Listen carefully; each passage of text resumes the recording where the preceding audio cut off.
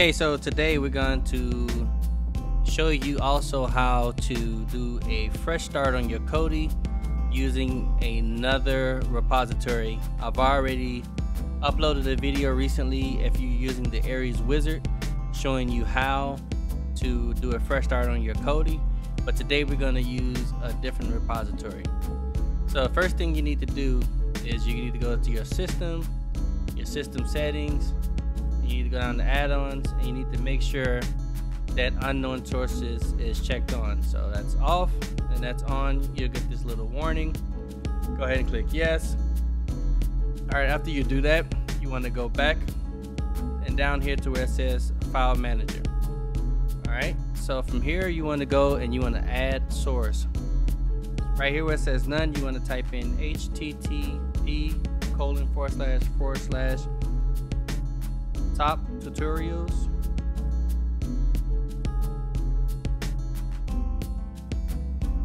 repo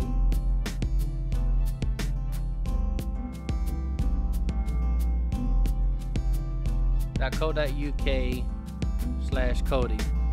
Uh, top tutorials is a, a, very good um, the word I wanted to look for source of a lot of things. I'll link his uh, channel in the description.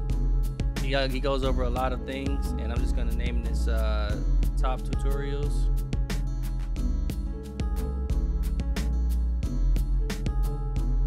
Okay. So now if you've done that, you go ahead and you click OK.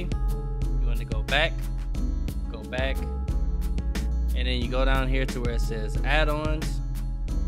And as you can see, let's let's go back. As you can see, I have other items on here. I have my Ares Wizard uh, Secret TV, which I'll be reviewing here soon, and uh, F4M, which is needed for a lot of TV shows. Anyway, so you go back to add-ons. You want to go up to this little open box looking like it's Christmas time. Install from zip file. And then we want to go to top tutorials. Right here it says fresh start. Plugin video fresh start.zip, right? Alright, give it a minute to, to download. There we go. So fresh start add-on installed.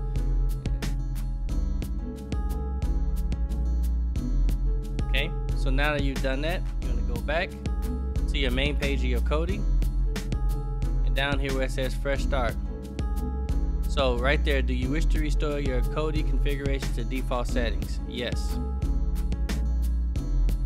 The process is complete. You are now back to a fresh Kodi configuration. Please reboot your system or restart Kodi in order for the changes to be applied. So let's go ahead and, and close Kodi out and then come back.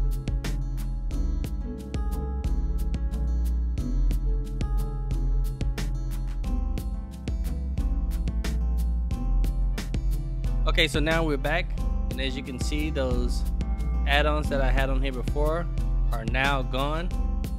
As a matter of fact, even if you go back to your system and your system settings and down to add-ons, you have to re-enable unknown sources and everything. So unlike the Ares Wizard that keeps Ares Wizard on there, the one from the top tutorials, Fresh Start, also removes everything. So got any questions, leave them down in the comment box and have a good day.